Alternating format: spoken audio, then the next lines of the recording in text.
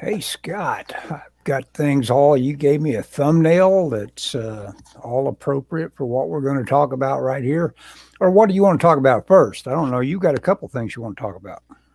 Well, I was well, I was going to talk about that for sure. On, let me see. Make sure I'm muted.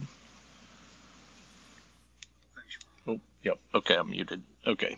Sorry, I'm I tell you what, I mean, don't don't apologize. Uh, somebody that's had tech problems for the past two weeks has been Scott Adams, and he, Oh, uh, you know, and he's he's one of these guys that'll he sees somebody bring it up, and he'll he'll block them because it just makes him mad.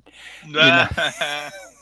And I think it's it's it's kind of funny. It's like we're just trying to tell you we we can't hear your stupid show. and he's like, I don't want to hear it. I don't want to hear it. Next time, next person that says that, I'm blocking them.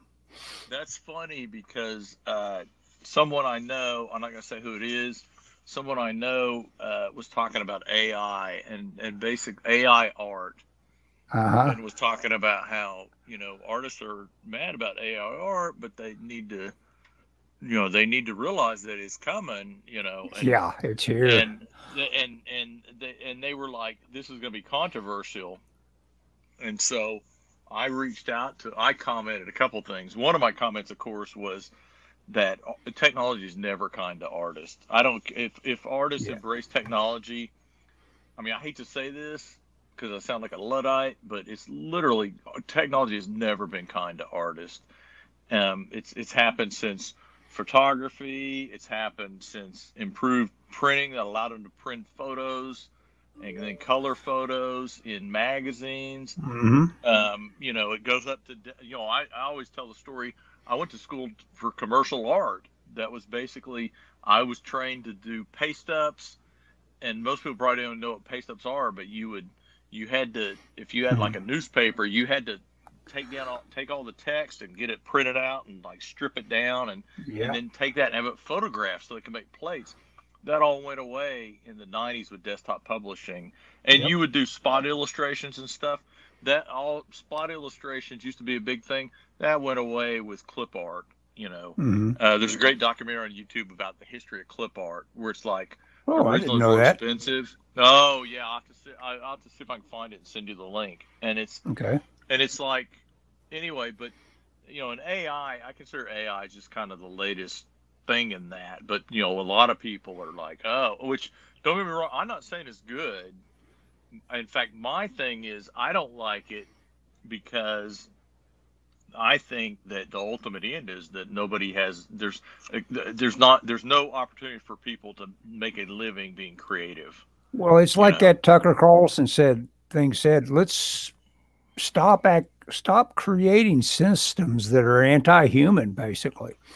Uh, you know, I mean. We- if, if, if it just destroys a whole swath of jobs, it's not a buggy whip when you just destroy uh, Right, jobs and make say. make. Oh, it's like the buggy whip. No, it's that- not- it's not really. Cars came along. It's This it's like help it's things. Yeah, it's more like selective elective surgeries. You know, it's like what do who do you who do you want to uh, cut out of our society? You know, and, and if you're making if you're making choices like that, you're you are making choices. It's like uh, just just tell us who you want to die, Right. Yeah. It's, it's like when they and and I'll try to move aside as you. as you take like your when, shots. Uh, the World Economic Forum says, or some, or Bill Gates says, we need to reduce population by, and he'll name the number, and then you get to figure it's like, hey, it's like, it's forty percent. It's like, well, which, which, I which I may get caught. does he want to kill? I may know? get caught in that purge. Yeah, Yeah, does he? How's he going to call us? It surely he Yeah. won't use a virus. yeah, yeah, yeah. Anyway, oh god, I just got us demonetized. but anyway, You may have got us, yeah. You may have got us. Uh, well, well, you'll at least up in the corner it'll say, uh, "Check this for actual COVID information." That's what they do to you every well, time. Uh, don't, the, hey, don't the- get me wrong. I'm not saying COVID is fake, but I'm, you know, I'm saying it was a, uh, the origins are suspect. Anyway, Yeah. anyway, so so my friend was talking about this, and I was commenting on a lot. He got a lot of, of course, there's a lot of people that are, you know, gnashing their teeth and going, "Oh my gosh, you know, no, this is you got to fight it." And he's like, well, first off, he's not an artist, so he doesn't need to fight it. But but yeah. he was saying that that somebody that we worked together like blocked him because of it, you know. Huh. And he tried to reach out to him, and they're like, "Nope, not gonna." You that's, know, uh, that's somebody uh, that is a bridge too far. It is somebody that is younger than either one of us, and hmm. is an is an artist and is coming up. I would say. I think she's done a little bit of work for Dark Horse, and she is I would call then and she is kind of the well let's just say um, i think that um, how can i say this you know you've made a comment and i don't don't repeat but you said there's a certain in the animation industry was taken over by I don't know if you remember telling me that. Oh yeah, yeah. I, I, said okay. I said John Kricfalusi said there was a uh, basically what? what it was. Don't, okay. Don't say who it was, but okay. she's a gatekeeper. She's half of that. Uh huh. So I just I just told you, but anyway, my my point is she is somebody that has kind of ridden this wave of we have to diversify the workforce. I, and I'm not saying she's not talented, but she's but so so she is in she's she's um, in her sweet spot. Let me put it that way. And here he's talking about this, and she just wasn't having any of it. Mm-hmm. You know? And I, you know what? I mean, I don't blame her. I'm fortunate because, you know, I have a I have a really good day job. Um, you know, I'm I'm I'm so busy at my work that you know it, it doesn't matter, and I'm you know I'm of the age that if if all that collapsed, I would be fine. I would just ride it out till I could literally retire. Mm-hmm. Um, and and not only that, but um, you know, I'm gonna do. I'm doing this comic, and I'm gonna do this comic, and and I'm not making any money, and I don't care if I make money or don't make money. Uh, and if this comic doesn't go anywhere, or or Dan fires me or whatever, I'll draw my other. I'll draw my own comic. Yeah. I'll draw whatever because I enjoy drawing, and that's my thing. Is like, why would someone want? And this is this is why I think AI separates people um, because why would it? It, it I, to me it separates the what I would consider the true artist from the people who are just in it for the bucks. Because mm-hmm. why would if if you're truly creative, if you're driven to create, why would you ever want to hand that over to a machine? You would want to do it yourself. Yeah. Mm-hmm. You know, and so to me, if you're if you're content with AI, and and I don't get into this labels of artists or whatever, but to me, you're not a true artist if you're like, I'd rather do it with a machine because either because it's faster or the results are better or whatever. I don't care about speed. I don't care about results. I don't care about um, you know, oh my gosh, I get all these opportunities. I care about putting marks down on paper. And mm-hmm. why would I want if you, if you you know I'm thumbnailing uh, chapter four right now, and mm-hmm. if if you said oh, I got this program and all you got to do is read the script into it and it'll draw it all out for you. It'll be perfectly done, and you can input your style and look exactly like you draw it. Why in the hell would I want to do that? I want to draw it. you know, mm-hmm. that's I mean you know that's I, and I think about that. I think about you, who's constantly drawing, even no, though you don't really I wish I was. have to be. No, I don't have to. Yeah, you you wish you were doing more, right? Yeah, yeah, right, exactly. Anyway, that's my soapbox. You know, because if you don't well, want to no, create, and it's interesting. It, yeah, it's uh, yeah, it's an interesting topic anymore to um because the reality is it's just it's a guy was showing me something on Photoshop today and YouTube channel that uh, it's like my God I never knew how to do that. I if I'd known how to do that, all of those uh, stupid uh, things I did for uh, in world would have been so much better if I just started this one little thing that this guy takes oh, no. two two minutes to do I said, my gosh, why, why didn't I know that? And it's because it's just, it's buried under there as a way to, to, uh, you know, uh, as yeah. a, me- a, method of starting. And it's like, geez, you know, and it was as important as a color choice, you know, Yeah. You, you could have this masterful way to pick your colors from, you know, a nice photo or a piece of art you already liked that wasn't that didn't require that you did uh, little color picks all over it or anything like that. You could just oh, uh, you'd add it to your palette. It add it to your palette. yeah, no, no, you could you could just set it down as just kind of like a whole bunch of nice noise underneath the whole thing and bring it up real organically. It was it was just a fun thing to look at. I'm going Oh, to try it now. You know, it's like, it's like Yeah, I got, I got to now. try it. So speaking, so I want to show you something I got. Speaking of, um, speaking of drawing for the love Yes. of drawing, I'm going to show you what I. Oh yeah, let me solo you on this thing about. Go ahead, no, tell no, us what this that is. Oh, not that yet. Well, that's all right. No, I I uh, really appreciate this. You gave me one of these, didn't you? Well, I gave you a. I gave it. Did I give it back to you? No, no, no. I gave I gave you a Lulu copy Oh, of the first twelve issues.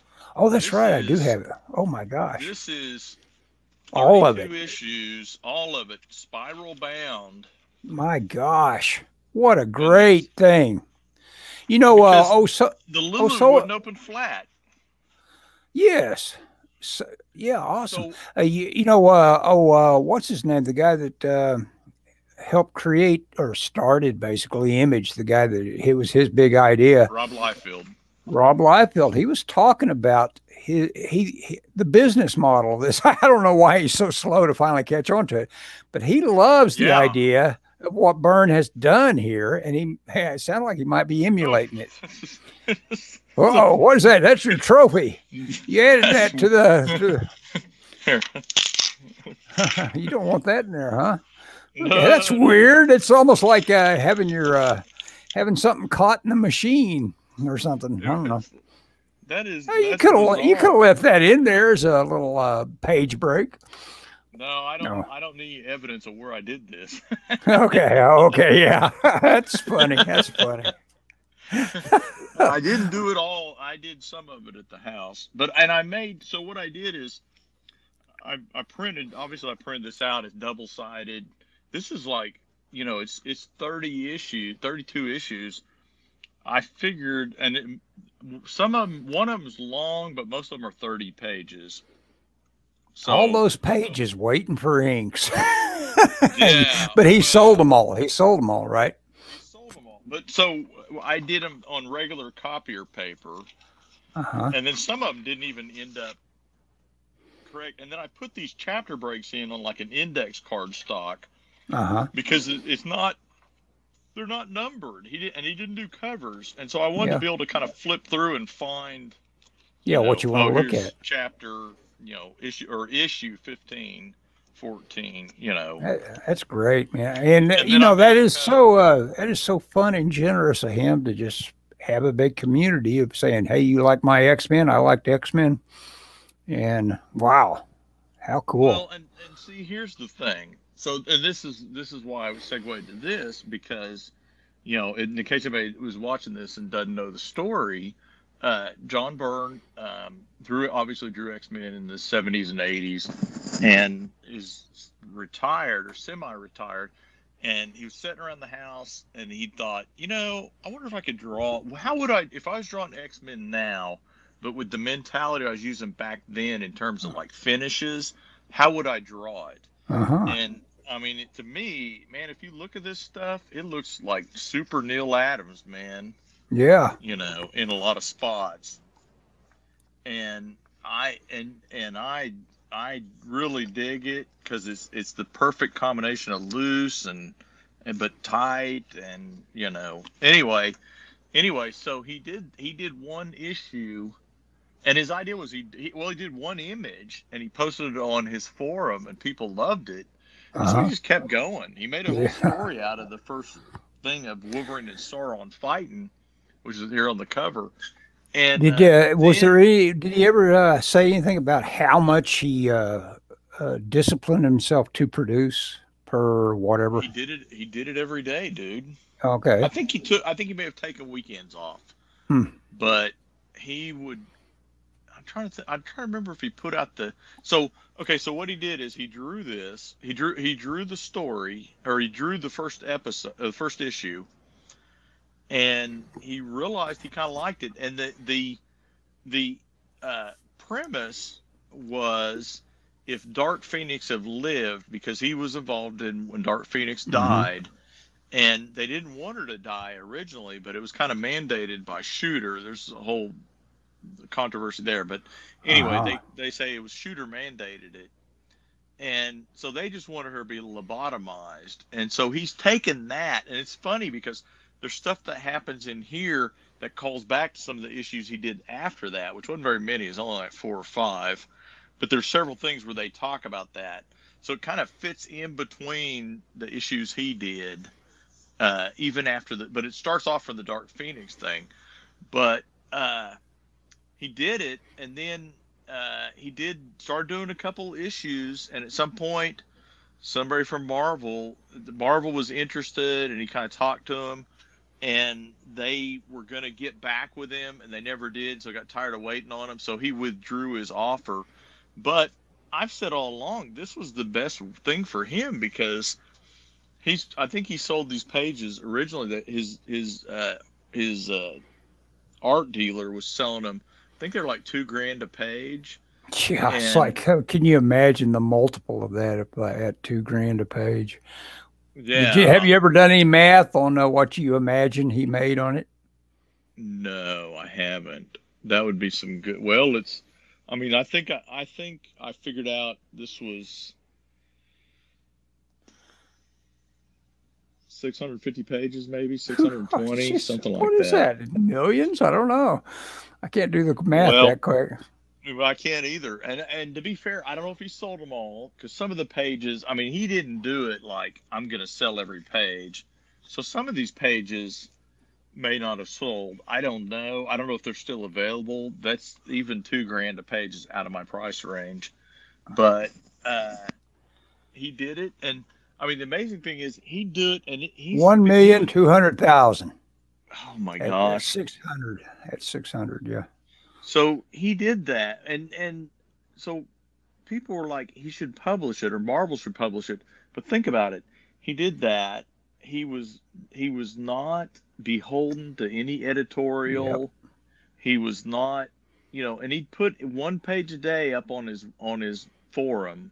He kind of serialized it every day and he did it and he would do until he had a month's that's right it wasn't up on the weekends and he would do it until he had a month's worth and then when he or an issue and when he got to the end of the month end of the he would he would put out ish, page one on like the first day of the month is what i'm saying mm-hmm. and so some and and it worked out but some months he'd be like hey you're gonna be you know seven days without a new issue you know, depending on how it mm-hmm. ended and that sort of thing. And he took a, a few days off here and there, mm-hmm. um, but he worked ahead. Um, he uh, he's you know he would do he would say he was doing these pages like in three hours. I mean, think about that. Oh, you know? that's just pretty amazing. So it was his morning. It was his morning ritual. He'd get up and do it, and it just shows you, he, though. I mean, it's like you can't know the outer edges of what you do unless you stick with it. This uh, whole thing of like uh, you hear these, you know, these disciplines of uh, a painting a day, and I think to myself, a painting a day. I don't, I can't, couldn't do that. Of course, I could. You know, they might be, they might suck early on, but you know, you you're developing the callus uh, or whatever, you know, for well, you know, getting the task him, done.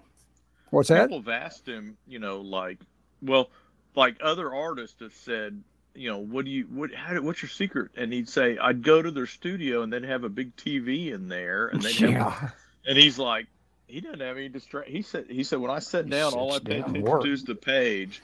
Right. And people have asked him, you, do you listen to music? Nope, I don't listen to music. He said, I work best in absolute silence. Uh-huh. You know, and and I think some people that would drive them mad. You know? Yeah, yeah, some um, yeah you know but he he I, in fact i think he wouldn't even like drink coffee or anything he's like i just sit down and work when he was doing a regular book he would work and I think he said in between each page he'd take a 30 minute break. Mm-hmm. And then, but like when he was working regular, like you know, I've I've heard, I'm sure it changed over the years, but his goal was to be at the drawing board by I think it's was like 7:30 in the morning, and he would work until noon, and then he'd stop, or maybe 11, and then he'd stop. It seemed like he'd take it like an hour, hour and a half for lunch. He, he had a long lunch, and um, and then he would quit working by like three every day. You know. Yep. And he was like, I could do three pages in that. You know, which is That that window. amazing. Yeah, he would do that.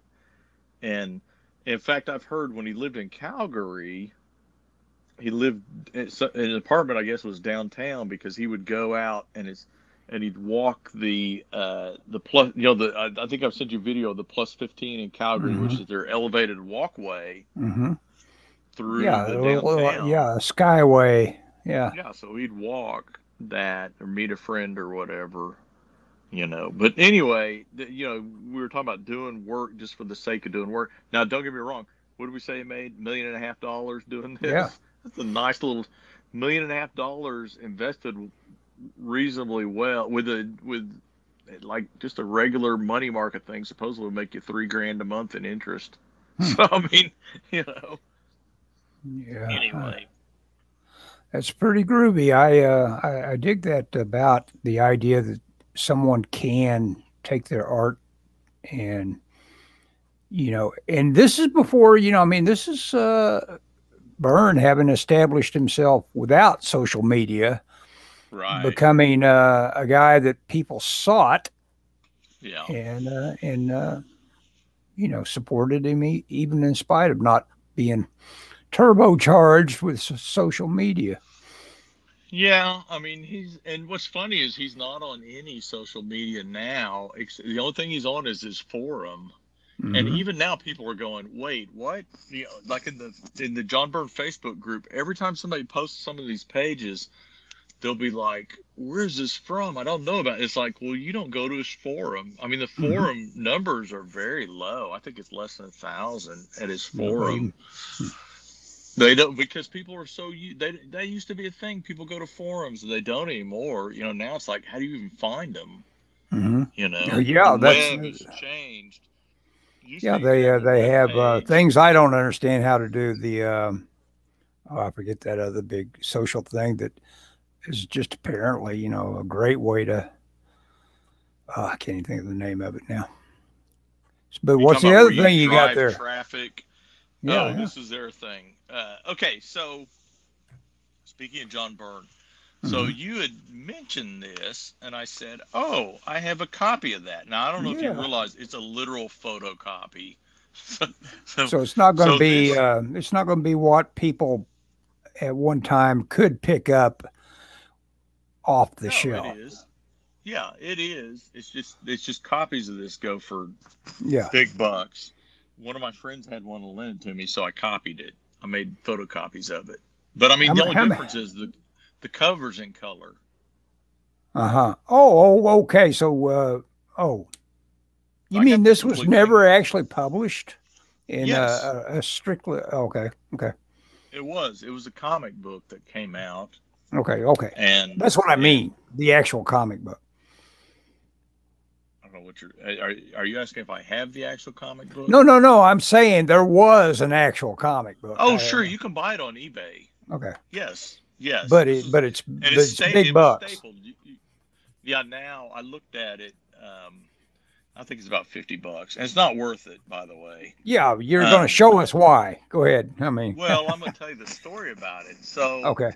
so, so somebody, I think it's this Solson guy, which I have a lot of Solson books. Um, uh, but he was doing like instructional kind of comic book kind of stuff. And he, in fact, I think he's the one that put out the the John Byrne Art of John Byrne book. Let me see if I got mine right here. I don't see it. it. There's one on the other shelf. But anyway, anyway, like in the '80s, and he contacted John Byrne about about giving art or doing art for it, and John Byrne lent him one of his sketchbooks. Uh-huh. Um, and apparently, John Byrne draws in his sketchbooks a lot. Or when he's younger, he drew all the time, obsessively.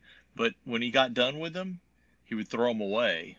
Oh my gosh. keep any of them. I know when you think about the money, and some of them, he said, friends of people have like got him out of the trash, and then he started burning them when he realized that people were would find them and they'd somehow you know get in the public eye.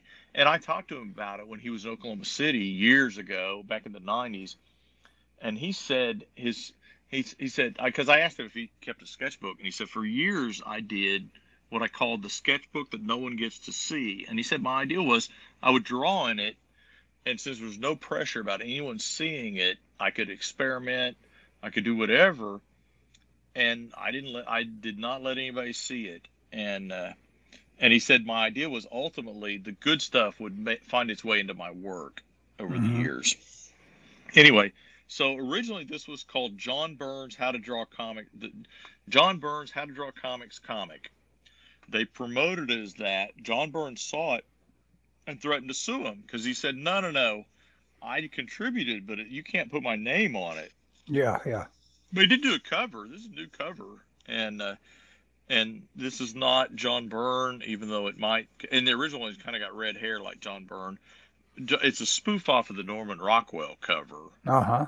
or the the where he's draw where he's painting and, and there's a or something. But anyway, um, but it, the the artist is smoking in this, and John Byrne said, "I've never smoked," you know.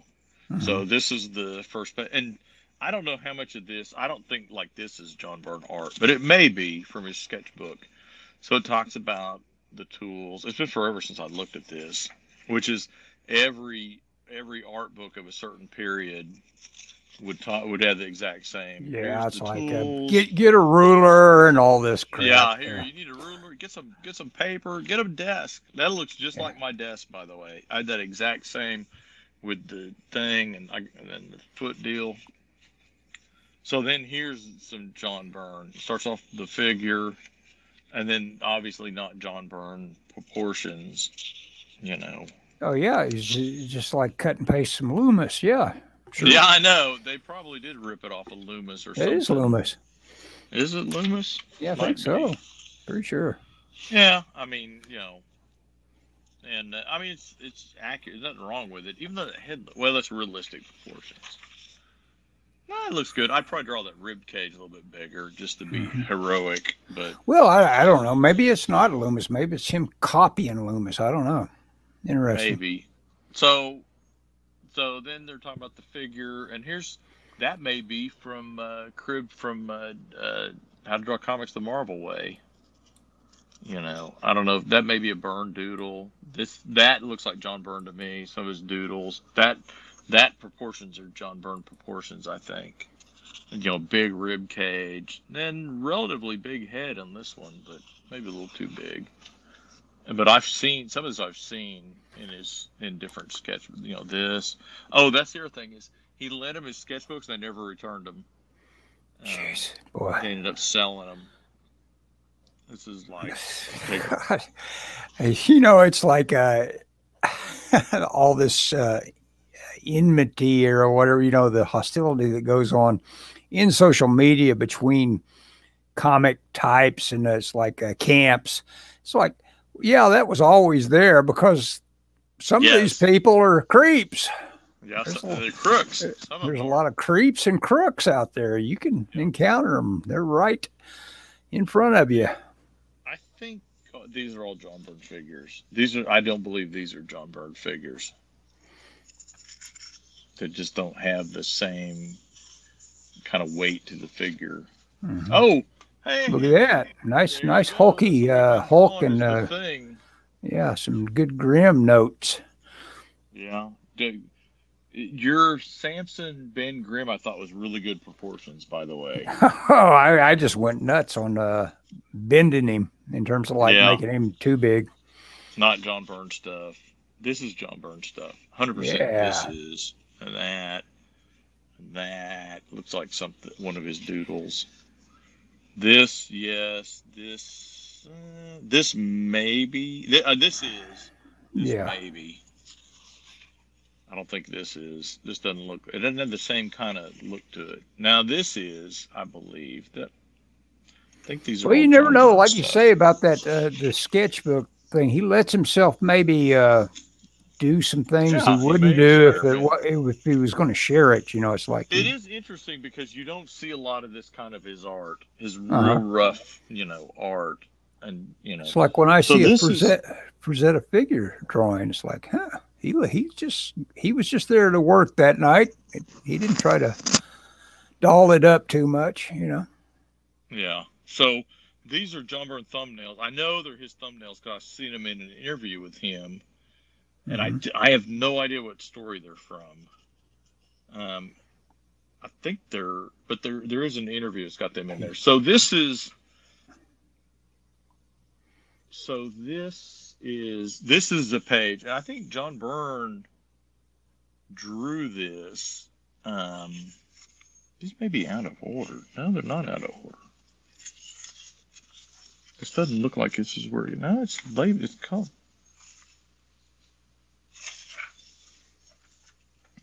It jumps to 26. Maybe I may be missing some pages. Oh, Yeah, so these are John Byrne faces. John, if I don't have the thing I'm looking for in here, I'm gonna be unhappy. oh, Yeah, more faces. I thought I saw. I flipped. Oh, I'm not gonna have it, am I? Oh, I don't have it. Rats. yeah. There was something I I discovered a a page break I've- on something I thought I owned. That uh, it does bug you, doesn't it? got an extra copy. So there's a thing floating around. Hang on just a second. Let me stand up and look at my files right here. okay. There's a thing floating around that he did, which is the only part of this that I would say. Oh, is this it? Oh, here, this is it. You found it. Uh, You probably took it out to study it. Yes, I, I did. Well, I don't even know if this is the same. This is, seems like it's a different, but this was part of the book originally. I think what I did is when I got it, I Xeroxed the parts I didn't have because this is not Xerox. This is a print, I think.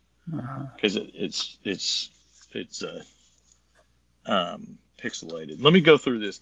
So I like this stuff. You don't see a lot of this stuff, but apparently drew a lot of these kind of techie backgrounds in his sketchbooks. You know, and I think that's pretty cool. His, his environments, yeah. Yeah, yeah. And so here he's doing some more. This is him for sure. Just work, just working out. Just masses Stuff. and textures. Yeah, yeah. The Oh, John so Byrne oh, sketchbook is here. Oh, look, an actual sketchbook was. Because he after this.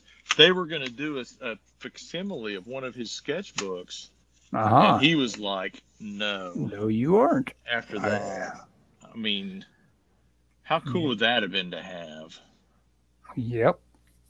You That know, would've been so cool. they their greed screwed the fans. Anyway, okay. Well, so that's pretty that. cool. But here's the chapter that here's the good chapter. Oh, I got a low battery warning. Oh, storytelling just- in comics. I could see where that could be gold. John Byrne telling you Yes, about especially by somebody like John Byrne. hmm Hang on just a second. I'm plugging in power. Okay. Scott may disappear. nope. I'm- well, Okay. I uh, my my headphone fell out. I'm losing weight, and nothing Oh, that's fits. good. Apparently, including my headphones. my earbuds don't fit my. You're my saying- fit differently. You're saying you're a fathead. Okay. Well, yeah, or was. Okay. Or so, was. Was. Hey, uh, this is- YouTube user says, you know who, who YouTube user is. Evening, guys. Dan? What's, yeah, yeah. What's the hat? He's like, yeah. why are you not doing thumbnails? yeah, yeah. So, uh, so this is the part that I thought was really good and that I wanted to share with you. I'm not going to read all this, but he talks about storytelling in comics and what it is, and he's like, I'm not gonna, I'm not, I'm not gonna, well, so he's just he gives some advice. His, his big thing is it's about clarity, and Mhm. so um, he talks Oh. about flying, and this was in that other page about how you know when you show somebody flying, you got to make sure they're flying.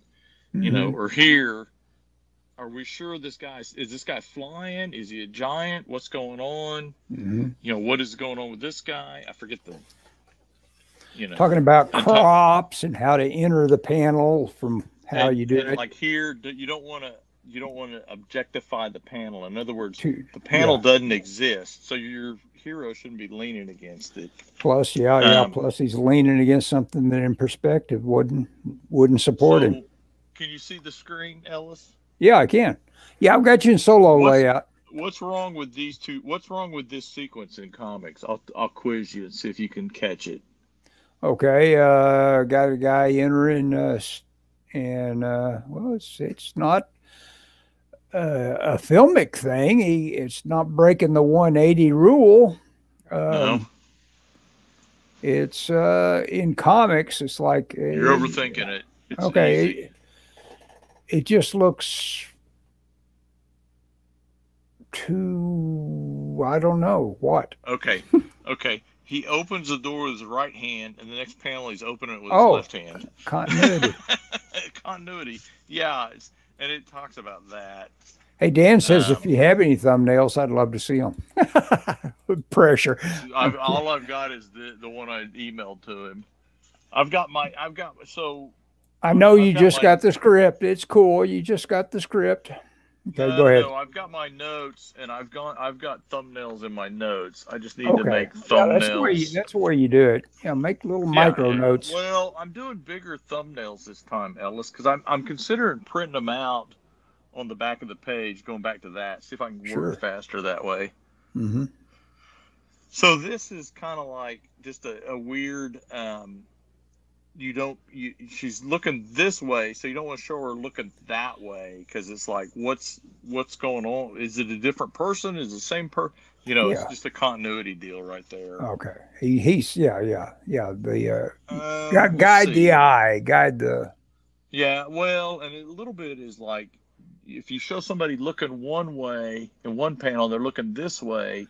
It's just a weird, like, what's going on kind of thing. So, you know, um, let's see. I don't know what this is. Let's see, figure 11. Let me see if I can find this. Uh,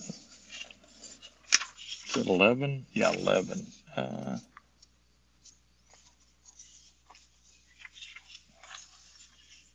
Good grief, they didn't put the pages anywhere near. Okay, look at figure 11. Is there a good reason for this room to be tilted relative to the viewer? Is it really tilted or just for dramatic effect? Um, if it's just for oh, what he's saying is when you do this, it's like, is the room really tilted or is it just a, a, the camera trick? So it's Mhm. like you need to show, somehow establish that the room is not like cockeyed, like the Titanic or something. You know. oh I just I'm sorry I, I was distracted by something else I was doing but I'm uh, yeah go ahead So this panel is um, is showing you. You generally read left to right. So this is going against the way. oh yeah yeah read. that is a that is a thing look at that grid now he explains how he uh, he is scrupulous and you you try to copy him on that you always try to have a grid on Yeah, Even, if uh, there's- even your- if there's a background or Mhm. something that needs a grid. So this is just a, a, an example of establishing shot. You know, Mhm. it's like this is too close, this is too far. He's like, this is the right way to do an establishing shot, and and then he talks about the grid he uses. Like Like, Dan yeah, says, the- she, she could be turning her head to avoid eye contact, referring back to the other one. Maybe she got asked a question, doesn't want to answer. It, it could be. Yeah, it yeah, could be for sure. So there's that, and then you know it talks about uh, clarity. His thing is cl- his thing is clarity. So then it's got some examples um, from his about backgrounds, how he does some backgrounds, some establishing shots. You know, there's there's New York, there's Annihiluses, or no, who is that? Is that Annihilus? I think it is Annihilus. Anyway, whoever that is, is at the is at the Baxter Building. And then here's a here's an example of a reverse, uh, like a pullback to reveal. It's like, hey, who's watching the Fantastic Four? Why, it's Galactus. You know, and then we get a clear establishing shot of his obviously massive ship. Hey, you you've uh, of course listened to and have a copy of that um, Marvel. Uh, what is it called? Marvel that uh, you know the complete history of Marvel. Oh yeah, Marvel Comics: The Untold Story. Uh, the Untold Story. Have you listened to Marvel? All of Marvel. Uh, uh it's funny you say that. I have that on my phone, and I've listened. I I have not made it past the introduction yet. I need to listen to it. Well, it's it's interesting because the guy he takes a you know an hour and a half yeah, to dive. to introduce you to the idea of of all the difficulties that lay ahead of you as the guy that has to listen to him yeah, uh, yeah. on on this exhaustive topic, and uh, so it is it is kind of hard to break into it, but it's funny. I'm kind of in the groove on it now, and I'll be able to listen to all 11 hours of it, I guess. So Which yeah, yeah, listen to it. Tell me what much. you think of it. I think he's a little bit woke, but uh, that's all right. Well, better than sleepwalking, I guess. Uh, yeah, he, he's he's he's re- he's uh, got the ready complaints about old white men here and there that seems kind of oh, like you're being kind of silly, even interjecting yeah, that viewpoint. I mean, yeah. if, if you're unhappy that white men created Marvel Comics, then yeah, exactly. Yeah, I, I don't know. I guess get a time machine and go kill Jack Kirby or whatever. But yeah, you know, I mean, that's that was just how it was. Yeah. At that point, and you know, to complain about it is is it's yeah. like complaining water's wet. You know. That oh, that's what I'm on right now. As a matter of fact, that Byrne work from Fantastic Four, they're talking about. He's talking about that transition that went on, the uh, where Byrne, you know, dropped in on Fantastic Four there. Yeah. After so all the Kirby. This is establishing shot, obviously. So it's so Doctor, yeah, Doctor Doom, yeah. Yeah. And he says, "Is a full page shot the, is the ultimate establishing shot? Do this, and you can cheat quite a bit on the backgrounds on su- subsequent pages, provided you remember sure. that such a shot must contain all the necessary information the reader will need to carry him for those next few pages, and that should you cut away to another scene, you'll need to reestablish this shot." Mm-hmm. So, and that's how it's written. John Byrne is very, he's a smart guy, and he's he's very matter of fact, which is probably why he's never written a full how to draw comics book because mm-hmm. it'd be mm-hmm. dry as dirt. But boy, there'd be a lot of gold there. Um, here's an establishing shot. He's like, eh, the down shot's not the best establishing shot. Mm-hmm. You know, no, more... it's, it's, it's got no juice to it. You know, I mean, it's like uh, it's too objective and uh, yeah, it's just it's just uh, it's just dry. Mm-hmm. You know, and then he says, he's talking about this. He says, notice how panels two and three break the 180 rule. It's like, oops, mm-hmm. you know? Yeah.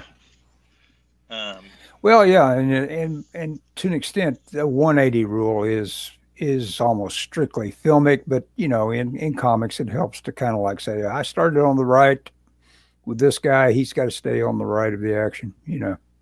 Yeah, if he'd have taken if he'd have just shifted Colossus over, he wouldn't have broke it right here. Mm-hmm. You know. Yeah, there, there's yeah, and there's ways to to do the transition. How you uh, how you establish that someone is. Uh, well, and and I've I try not to. I try and do that. Like when I'm thumbnailing my pages, like this, for example. You know, there. This is how these people are laid out. These three people are, will be, mm-hmm. and I and I try and not mess up the sequence, you know, even moving through the next couple pages. Yeah. And I'll shift to like a down shot or something. But even the down shot, I try and keep them in that order on the page, you know, um, unless there's, unless there's, I'm trying to think of the script. I don't think there's a reason in the script.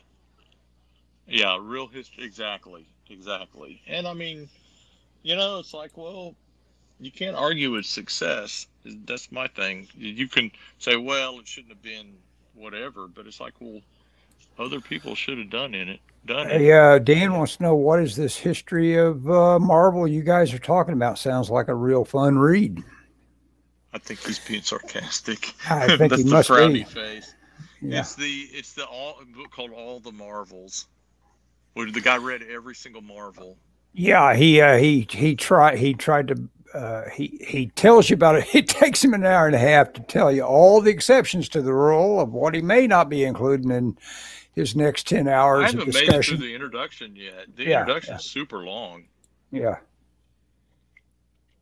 Um, I, what is this history of Marvel? You got well, uh, and then he says, yeah, he's being a bit Marvel, sarcastic or whatever. Right, because yeah. he's got a smiley face. I like Marvel Comics: The Untold Story, even though Rob Liefeld has denounced it and said, "Well, he didn't interview me, so yeah, anything he said about the image days or the image creators are, you know, guessing." But whatever, it's still good. I don't care. It's it's like Oh it's yeah, like, it's it's big, it, it's I'm, it's obviously gold in terms of like saying, okay, this is this was happening then, and it's cool to to I, have that. I I'm a big fan of Walt Disney. Now, I'm when I say Walt Disney, I mean the man, mm-hmm. and and some of what he created certainly, or maybe I'd say what he created. Let me put it that way. And you know, Bob Thomas wrote uh, uh, Walt Disney: A Complete History or History or something like that and it's a great book. And people have come out and said, "Well, no, it left out the part about how Walt Disney did this or that, or he was this or that." It's like, you know, I don't care. Yeah. I mean, he's dead. He why, you know. Well, I mean, he was, you know, I mean, he had a lot of concerns about. He was the executor and executive, and he had to worry about Yep.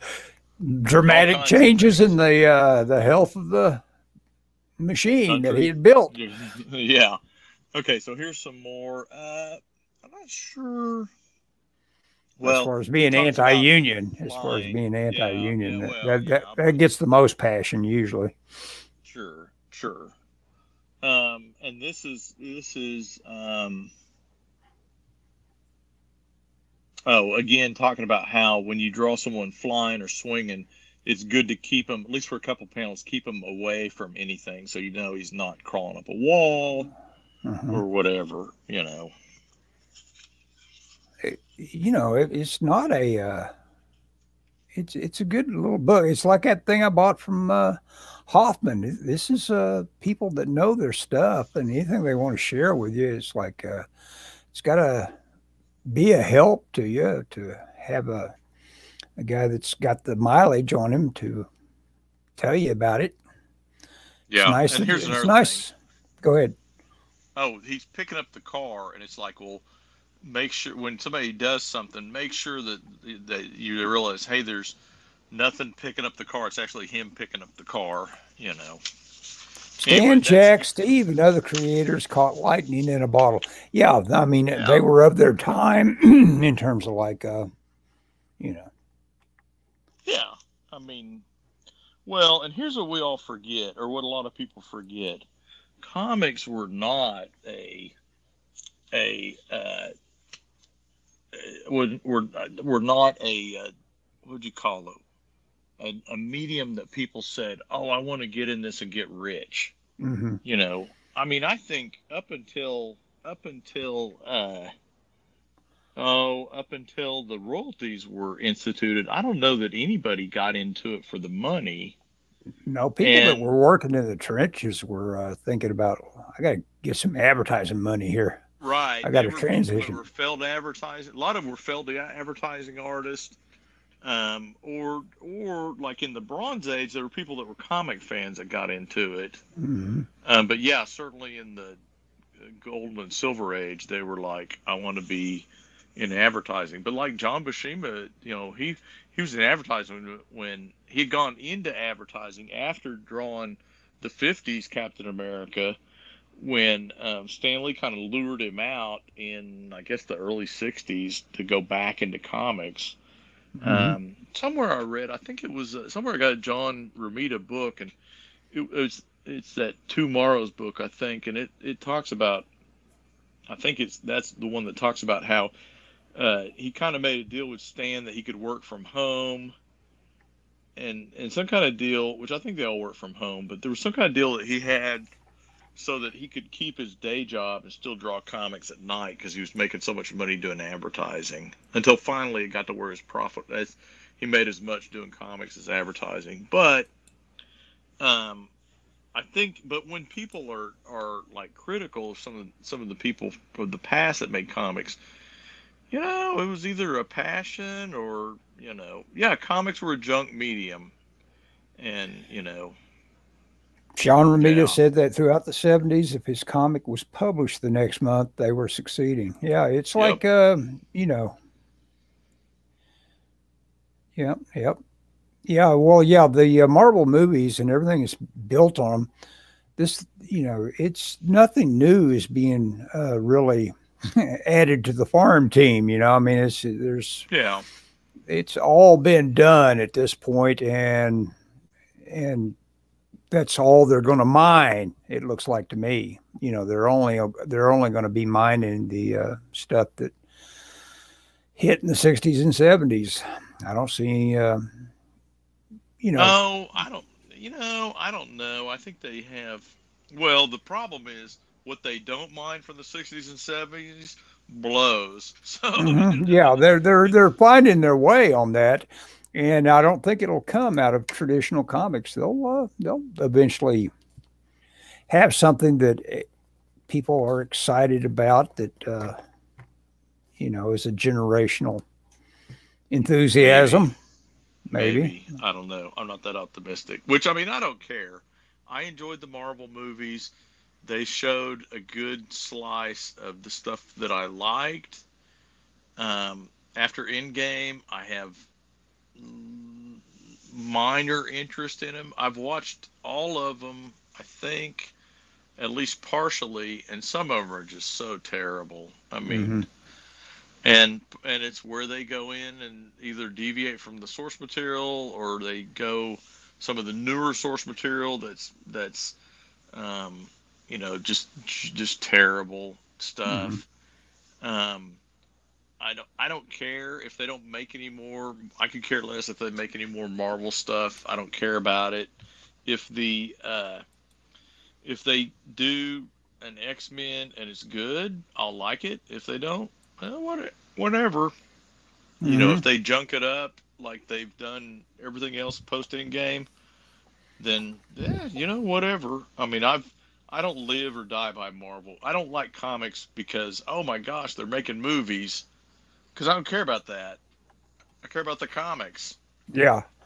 Well, you know? but yeah, but yeah, the only reason people their their sole motivation is to get their IP out there, so to where it might get uh, you know bought. Walking Dead, Walking Dead screwed up everything like that. Yeah. I think I'm convinced. It's like, hey, I get some get some. Yeah, that's a good example. It's Marvel's new Coke now for sure in a lot of ways, and it's you know and and I don't know if Dan was listening earlier. We talked about AI, but you know, the, a, a, friend of mine got chastised by a bunch of people because talking about AI on the internet. Basically, was saying, "Hey, oh, I've got the I've I've watched." About nine of the first season, nine episodes of the first season, I think. I'm through the first disc. I need to watch the rest of the disc. Um, I have season. You know what he's talking about, Ellis? What? My Hero Academia. Do you know what that is? No, I don't. Uh. That's a that's a manga series that became an anime series. That is a lot of people are like, this is they're doing what Marvel Comics used to do, and I would agree with that. Oh, Black well Black Cricket, the motion pictures. Man, I gotta say, I'm gonna say this. Um, I got chapter four um, a few days ago, of the black cricket and and Dan is bringing the heat as they say it's it's really cool um they, we start off in an office where they're discussing the black cricket's um his alter identity and they're talking about how you know he's running this corporation that his dad founded and they're mm-hmm. talking about, oh yeah, this guy's a liability. He's, he's we gotta we gotta rein him in. You know, um, you gotta you know there's there's you know they're talking about how much of a liability he is, and then we see the black cricket is running across the roof of the building. you know, and uh, he and and he basically goes out and gets into a fight. He he basically stops a robbery, and he runs into um, somebody he can't handle, even in his suit. And uh, it, it's it's really really cool. I dig it. I've been I've been biting my tongue wanting to ask Dan, when are we going to get to some action, Dan? Come on. We've well, yeah, it's it's it's like you gotta gotta have it set up. He said, "Thanks, brother." Yeah, he set it up. He's it's. it's yeah, and it, yeah, you dig that uh, character character building. Development. Yeah, development. Yeah, but I'm hoping to get. I know I've only got one thumbnail done now. I I did something last night. Oh, well, I went to church last night instead of drawing thumbnails. Sorry, Dan. Um, and uh, but I'm ready to hop on it, and I'm actually off work on Monday, so uh, Michelle is off work, and so I took off. Of course, it may be icy here. Yeah. But oh I, yeah. I, I think t- starting tomorrow, we're uh, in the freezer for at least five days. So yeah, I think it's gonna. Well, let's see. It's gonna it get cold. Very... Well, overnight it's gonna get cold. It may snow tonight. Mm-hmm. Um, God, the other night you didn't get out when it was so icy, did you? On Monday. No, I didn't. Monday morning. I did. Holy cow! I slid to work. It was crazy. Um, it was bad because it wasn't icy everywhere. It was icy in spots. Uh huh. Which is the I, worst because it catch you by surprise. Yeah, I hate missing you know. my walk and all that, but I said, nah, I'm not getting out. No, yeah, I wouldn't. I wouldn't have got out it if I didn't have to.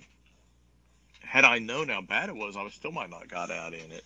But uh, it's supposed to get maybe maybe icy. Oh, it may we may get like rain or uh, or snow overnight, and then it's not Saturday is not supposed to be too bad, but then Sunday is supposed to. I mean, it's going to be cold yeah. But Sunday is gonna, you know, really.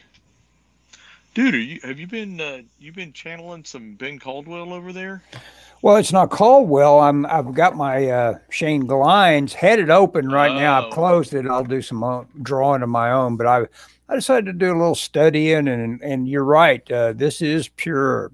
This is where you you get the sense that Caldwell probably gets most of his notions about appeal and pushing the straights and doing the curves and all that because Glines is even more so than him in terms of like how he how he pushes this and that.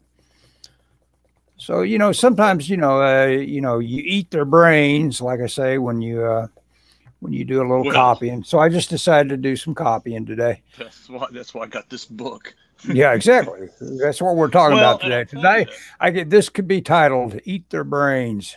This show.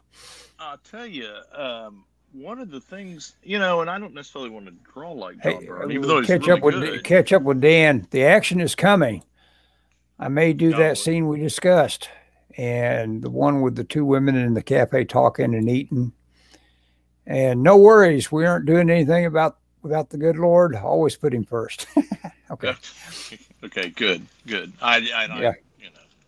Yeah. So what? I, one thing I'm doing, I'll tell you this. So while Dan's on the, because I, I've been criticized a little bit, not harshly, but people have said my layouts are too, you know, nine panel layouts, and so I'm looking at John Byrne's and kind of trying to be inspired by how he was using like a lot of diagonal panels mm-hmm. and some, you know, bleed outs of the panel and some of that. I'm trying to find some good ones here.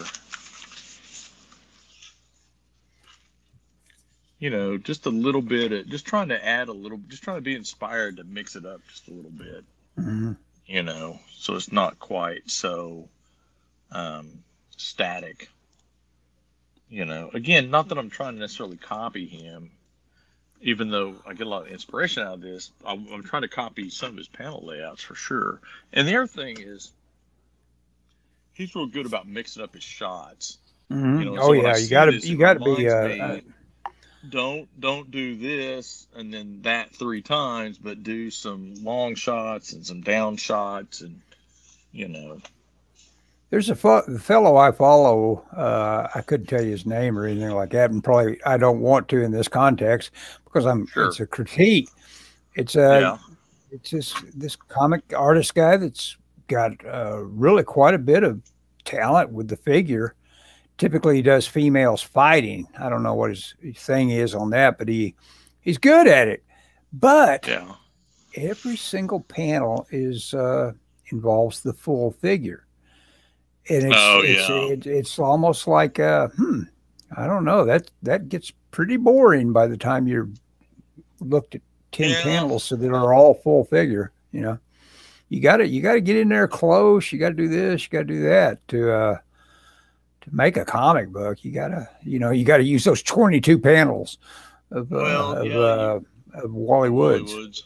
Yeah. Yeah, and I think you want to you got to mix it up a little bit, and I mm-hmm. think modern John now X Men John Byrne was terrible about it, but mo- the modern John Byrne is really good at that. Oh, what what do you feel that Byrne was doing? Was he doing too much of the same in terms of like how? Yeah, hang on, I gotta. Let's see here. Yeah, maybe not. I don't know. Not as dramatic as he is. Yeah, this isn't as bad as. He just he's just not not not. Uh, a lot of let's see. A lot of it's kind of a straight on. Well, that's mm-hmm. I don't yeah, know. Maybe I'm misremembering. He definitely got better. Well, you know, I mean, he is working with a guy scripting that he probably was, you know, they had their moments together, didn't they, of arguing about how things ought to be oh, going, oh, you know? Absolutely. You know, yeah. Well, the big thing was John Byrne had drawn stuff and he would make so uh, they didn't work full script. Uh, Claremont would call Byrne and they'd, they'd work out a plot well, I think now I've had people I, that have posted a plot. Anyway, he, uh, as I understand, it, he worked from a plot, maybe a pretty detailed plot, not necessarily Marvel style, but a, uh-huh. but not not dialogued. Oh well, uh, I can see where that would be quite the shocker. Then all that loaded up dialogue can be worse than the fight scenes in Echo.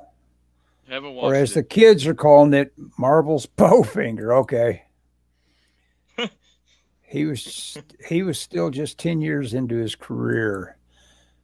So byrne was still teaching and finding his way as an artist on x-men. Yeah i guess. Sure. yeah yeah, sure yeah, yeah, yeah, well everybody uh everybody gravitates every, to it. Yeah every art because well because uh, terry austin was such a great inker and they were such a good fit for each other. Mm-hmm. and also i'm convinced that a lot of it is the way he handled textures you know, and the X Men were all wearing like shiny suits, and mm-hmm. Colossus was metal, and and there was all kinds of robots and stuff, and and the combination of the two of them, the, all the te- I mean, as a kid, that really appealed to me. The clean lines and the, and all the the just the really cool textures, and uh, when they split up, I think it took John Byrne a little bit to kind of find his way, you know. Did he was he inking it himself? Who? Uh, Byrne, Byrne. on. Uh-huh. On oh, on the X Men. No, Terry Austin was inking it. Okay. Yeah, that's the thing. Is Terry? I mean, and I have that artist edition, and those Terry Austin inks are just super clean. You can see he'll do feathering Ellis, and then he'll go in, and you can see where he whited out the end so that they all have like a smooth arc on the edges. I mean, it's uh-huh. crazy some of the stuff he did to get it to look clean. I mean, it worked. People love that stuff. I mean, look what he did on uh, Iron Fist and then his X Men stuff. You see, he was already making leaps and bounds with his style. Yeah, yeah. X Men. Hey Scott, I can't believe it. We've already done an hour's worth of this. I uh, I, I guess letting you uh, just show off all your stuff, uh, kind of like uh, kind of filled it up pretty quick. Yes. Yeah. Sorry about that. No, it's all right. well, I, so So I think people probably yeah, say do I'll more of that. Pages. I should be drawing pages of Black Cricket, barring some kind of weird thing. But I'll have my thumbnails done, and uh, and I've got my. De- this was a good night to do it because my desk is relatively flat. I need to go back into drawing mode, but I've got my desk is covered with paper, so I need to get rid of all this stuff, get the uh, get it back in in drawing mode, get my uh, get my drafting machine going, and go to town. Yeah, you got your drafting drawn. machine based on uh based on Byrne's drafting machine, right? Did you well, go after one that was to copy? No, oh, no. Okay. I was given one. I knew he had one, and I knew what they were for actually because my wife used to be a draftsman. She mm-hmm. never had one, but her boss at one of the companies had one on his desk and I was so my company bought out an, another business, not not their. It's like they bought all their furniture. It was kind of weird. They bought all their office furniture, which seems weird now, but we got they had a it was an oil some kind of oil company, and we got all of their like draft. We got a bunch of art supplies and and dra- and we got a drafting table. Well, no one wanted the no one wanted the drafting machine, and so they didn't know what to do with it. And so somebody said, "Do you want it?" And I go, "Yeah, I'll take it." And I knew what it was for, and I and it didn't have any of the rulers with it, the paddles, so I had oh. to order them. Mm-hmm. I Triangle A and E ordered them for me actually. Uh-huh. And uh, that's how long ago it was, and. Uh, is, is there no such a thing as Triangle A and E now? No, they closed a few years ago. Okay, yeah, that's right. Wow. I went in there, dude. I went up there one day on a Friday, and I went inside. It was the door was unlocked, and I went inside, and everything was missing. And I go, oh, "What man. in the world?" And this guy goes, "Oh yeah, we've we've closed, and I'm in here kind of clearing everything out. And I go, do an inventory. Is everything gone? He goes, yeah. And it's like, uh, and they had it. Supposedly they had a sale that I missed. Oh, oh that's and painful. they had some. Well, so I like the Strathmore black hardcover sketchbooks, and they don't make them anymore. Strathmore's mm-hmm. gone to a different design, and I, they're my favorite sketchbook. And um, and I'd gone in a few months before and bought one because they had. I mean, this was years after Strathmore stopped making them. They had maybe four or five of them, and I bought one, and I was like, oh. And then you know, and the idea was I'd go back and buy. I mean, I even thought maybe I should go back and buy those other ones. Mm-hmm. Um, and I went up there and they were gone. And the guy's like, oh yeah, we had a big sale, and I was like, oh god, I would have loved to have bought those others for a deal. You know, because I'm still drawing one now. You know. Mm-hmm many years later, you know. Again, thinking an anti Fantastic Four in regards to their looks. Wait a second. Maybe I should skip back. While what? you were in a Byrne state of mind, remember the suggestion for the crew of crooks. Hmm. doesn't doesn't uh, anti Fantastic Four in regards to their, a, a bit younger, a bit rougher around the edges. Gotcha. Uh, Dan, please compile all these notes in a Word document. yeah, yeah, I'll send one. Burn, uh, uh, Burn. Dan is Dan is sends me uh, Facebook messages, and a lot of times I won't see them until hours after he sends them, and they're really long, and uh, you know, so I'm I'm I'm on Facebook, but I don't Messenger doesn't ping me when I get a message, so did you did you see? I know uh, sometimes I I'll send you stuff, and because you get so much email, you probably don't even see stuff I might send you. Did you send that? Did you uh, click that link I sent you about Mia Goth uh, screaming? Uh, w magazine. Oh, that's okay. Oh wait a uh, minute. Yeah, I did. Okay, but anyway, I just was so impressed by being able to to go from zero to sixty on on that on intense volume. scream. You know, it's yeah. pretty. It was pretty fun. And you notice everybody. You, something, wasn't she? Huh? Was she at a podium, like at an interview? No, she's just sit. She's sitting, being interviewed by that W magazine. Oh, okay. And, just, and uh, she's just asked casually, uh, I, I, hear you have a good scream. Says, yes, I think I'd rather do. Uh, would you like me to scream for you? And, you know, I can't do an English accent. And, uh, boy, then she gives this scream that the veins in her forehead come out and everything just for a, a split second. And it, it's so intense and uh, so well done. Everybody's just laughing. The, the whole, everybody in the studio's just laughing at how fun and intense it was just that quick. It's like, wow, you really amp things up here in the old studio. Who is she? I don't. The problem is, I don't know who she is. Oh yeah, well, you you probably wouldn't even like these movies. Uh, there's this really good uh, horror director named Ti West that uh, linked up. They went down to New Zealand because if you got screened and everything, you could uh, sit there and work without you know worrying about tests or anything you know because they uh, oh, oh, they they control yeah because they control and so they were able to get there and they decided hey let's make two movies while we're here and we we can oh, actually work. And so they did uh, X there's such a there's such a deficit of movies nowadays it's amazing it's like the movie industry doesn't exist hardly anymore yeah, I mean, uh, there's. I'm going to watch a Reacher tonight. I'm that hard up. Oh. No, I, those things. Have you started on those at all? Um, I watched a little bit of the first season.